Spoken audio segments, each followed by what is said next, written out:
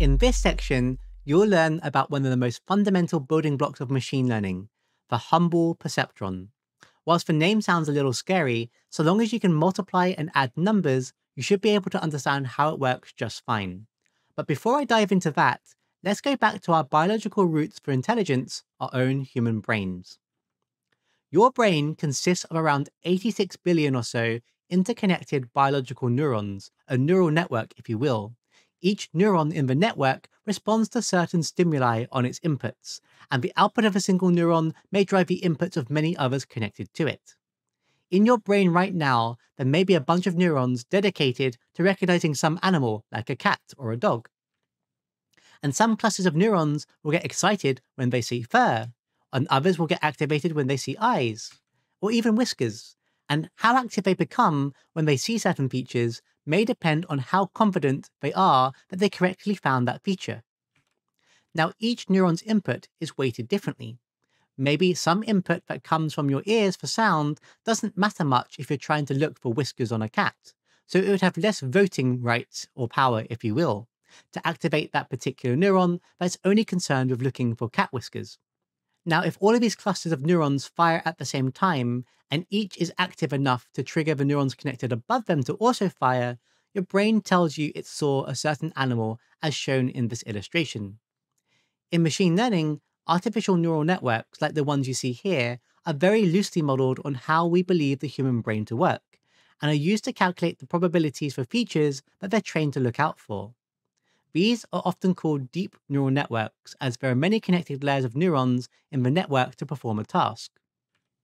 Let's zoom in on just one of these artificial neurons shown in this diagram to break it down further to see what it's actually doing. So here you're zoomed in on one single artificial neuron. One type of artificial neuron is known as the perceptron. Now the concept of a perceptron dates back to the 1950s and is one of the most fundamental building blocks that made machine learning what it is today. Now, I've actually hidden some things so I can reveal them to you one by one, so let's start going through them. First, this artificial neuron will sample some inputs, just like the neurons in the brain did. These inputs, however, are always numerical, and each input here essentially represents a feature from one item in your training data. Typically, inputs are normalized to have values ranging from 0 to 1 so that they can be compared in a more relative way. But for this explanation, you'll see me use whole numbers to make it easier to follow along. It should be noted that if your input was a grayscale image, then each pixel would be a feature, and you'd have a lot more than the 7 inputs shown on the prior slide. A 100 by 100 pixel image would produce 10,000 inputs, but the principle would be the same. It's worth noting that a single neuron can have as many inputs as it needs to be able to sample everything it's connected to, which as you'll see later is defined by you. Next, each input is associated with something called a weight you can visually see how the inputs with thicker lines have a higher weight and will end up contributing more to whatever's being calculated. Now, initially, before the perceptron is trained, these weights are just randomly chosen numbers, like the ones shown here, so this is just a starting point. These weights allow the neuron to amplify or reduce the value of each input if it decides that that input is more or less important respectively, in order to predict something useful when it trains itself. For now, just know that these are random numbers to start. You'll see how this enables it to learn later on.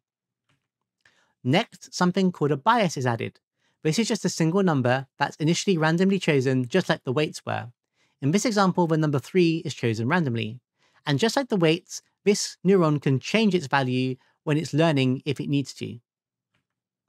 So what you have here is the first half of a perceptron. When you pass data into the perceptron, it will take each input number and multiply it by its corresponding weight. These resulting values are then summed together, and finally the bias is added to this total to add an additional offset if it needs to. In the example shown here, the first input 3 would be multiplied by 2, producing a value of 6. The second input with a value of 1 would be multiplied by 1, which would still be 1. And the third input 7 would be multiplied by 3, producing 21, and so on for all the other inputs. If you add the results of these multiplications together and then add the final bias of 3 in this case, you'll get the number 42 as shown in the yellow circle. Now at this point, Don't get hung up on how this allows the neuron to learn, just focus on understanding the maths that's going on here. The neuron is just calculating a bunch of weighted inputs that are summed together and then a bias is added to the total to give you some grand total. But how do you know if that grand total is sufficient to make the neuron get excited enough to send an output to anything that's connected to it, like you saw in the biological version of a neuron? Well, the last part of an artificial neuron is something called the activation function. All this means is that if the grand total calculated is greater than some threshold, then the neuron activates, providing some transformed output value. Let's take a look at the activation functions in a little more detail to understand this further. Jumping back to your high school maths class for just a second, imagine you had a line that was plotted as shown. You can see here that for all values of x that are below 30, it will give you a y output of 0, and for all values that are greater than 30, it will produce some output between 0 and 1 that steadily increases in size the larger the x value is over 30, up to a certain point at which it maxes out, whereby the value of 1 is produced for any number higher than that. Now, using the total value you saw from the example neuron you saw on the previous slides, you calculated the total of 42. If you fed 42 into this graph, the y output would be around 0.4 using this example activation function. Now, in mathematics, the name for the equation of a line that produces a certain graph shape like this is known as a function. As this special function defines when the neuron will activate to produce an output, you call this the activation function.